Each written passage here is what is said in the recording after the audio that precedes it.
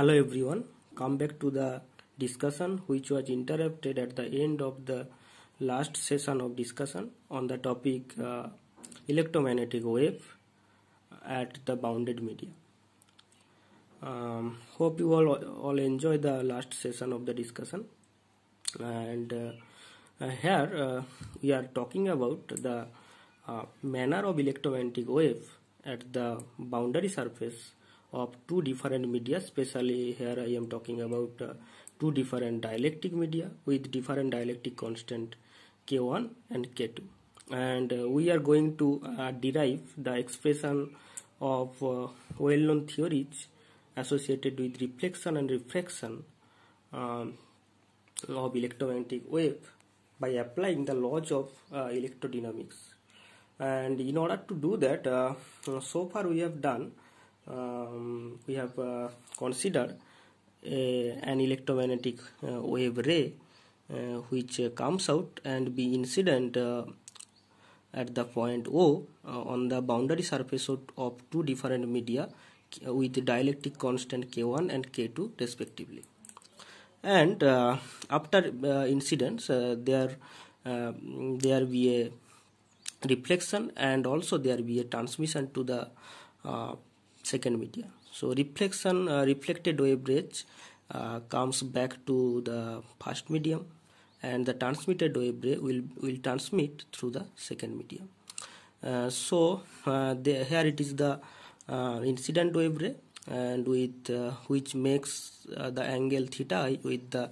outward normals outward normal of the reflect reflecting surface. So it is the angle of incidence and similarly it is the reflected wave ray and it is the angle of reflection. And uh, also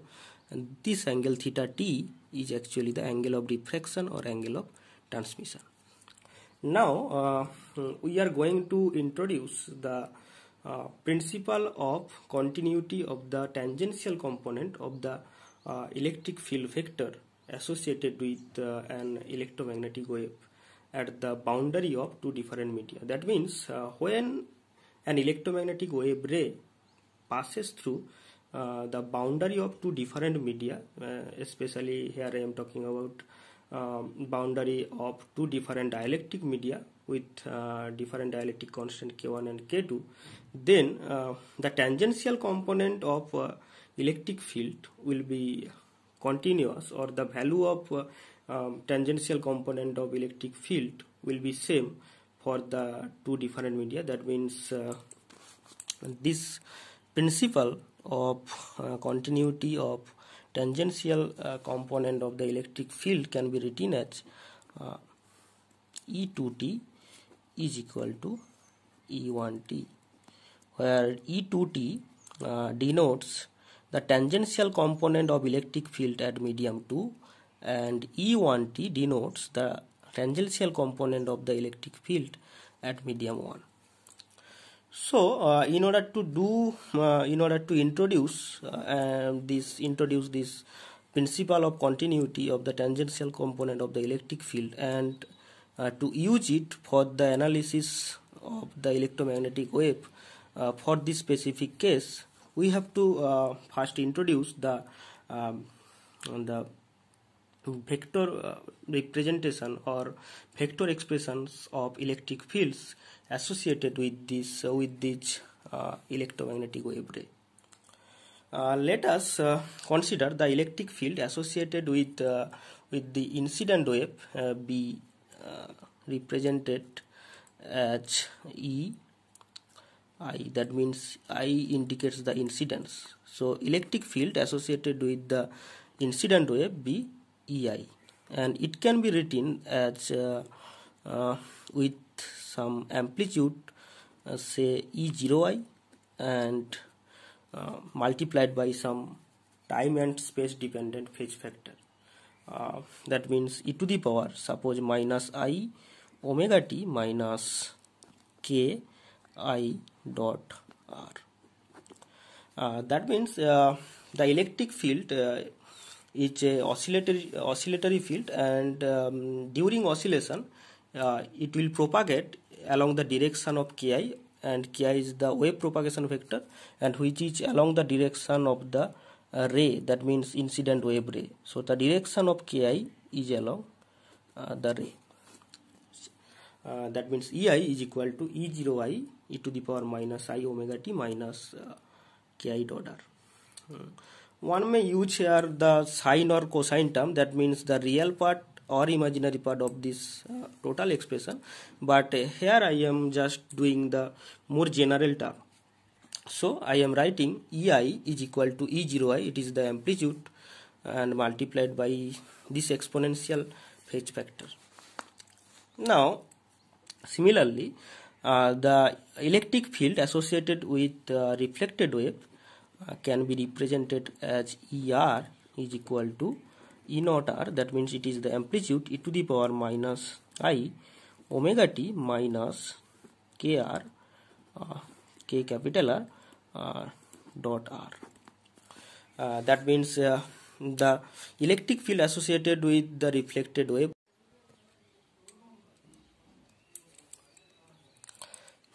here uh, the electric field associated with the incident wave ray is equal to uh, ei and its ei is equal to the um, amplitude. That means suppose it is uh, e naught i and multiplied by some time dependent and space dependent phase factor. And this phase factor can be written in exponential form e to the power minus i omega t minus ki dot r where uh, ki is the wave propagation vector of incident wave ray and the direction of uh, ki that means the direction of wave propagation vector is along the direction of incident wave ray that means the direction uh, along this vector so ki is directed along this direction similarly the electric field associated with the reflected wave that means uh, it can be written that uh, er is equal to uh, with amplitude E naught r and also with some exponential phase factor e to the power minus i omega t minus kr dot r. Where kr is the wave propagation vector of reflected wave and it is directed along the direction of reflected wave ray that means along this direction kr similarly uh, the transmitted wave ray can be represented that means the electric field of transmitted wave ray can be written that uh, Et is equal to with amplitude E naught t multiplied by the phase factor e to the power minus i omega t minus kt dot r and kt is the wave propagation vector of the transmitted wave ray and is directed along this direction. Kt so uh, clearly it is the representation of uh, the electric fields associated with these three electromagnetic wave ray and uh, it is clear that the frequency of the oscillation of uh, electric fields associated with these uh, three different electromagnetic wave are equal because uh, frequency of oscillation is the fundamental property of an electromagnetic wave. The frequency of oscillation does not change with any other external factor like the uh, medium of propagation or any other factor factor etc so the frequency of oscillation remains constant. And here also um, the wavelength can change from one medium to another medium that means uh, though the frequency remains constant even after passing the boundary of two different media but the wavelength can change from one media to another media so uh, clearly the incident wave and the reflected wave are propagating uh, through same media, uh, same medium with dielectric constant k1. So the electromagnetic wave possesses the same value of wavelength lambda for these two different electromagnetic wave. So we can write that uh, lambda i is equal to lambda r. That means the uh, wavelength of the incident wave is equal to wavelength of the reflected wave so um, here we can write that twice pi by lambda i is equal to twice pi by lambda r and so we can write that ki is equal to kr So the magnitude of wave propagation vector for incident wave is equal to the magnitude of the wave propagation vector for the reflected wave. But the wavelength of the incident wave or, um, or reflected wave can be different from the uh, wavelength of the transmitted wave because uh, incident wave and reflected wave transmitted uh, or propagated uh, through the first medium with dielectric constant k1 but the transmitted wave are propagating propagating uh, through the second medium with dielectric constant k2 so here we can write that uh, lambda t that means the wavelength of the transmitted wave will not be equal to lambda i and also lambda t will not be equal to lambda r. So that means uh, kt is not equal to kr and kt is not equal to ki. So ki is equal to kr but kt is different from this uh, the from this ki or kr. Now uh, here uh, we shall apply the principle of continuity of uh,